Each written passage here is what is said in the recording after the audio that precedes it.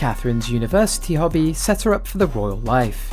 Princess Kate opened up about her university days last week during a visit to Nottingham Trent. The Princess of Wales revealed, I remember university for me was one of those great opportunities to try out new hobbies, and that has carried through now.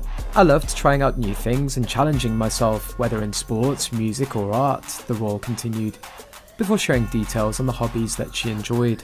I also tried out the photography club at university, which was great and I met completely new friends, and that's something I continue to love and enjoy now.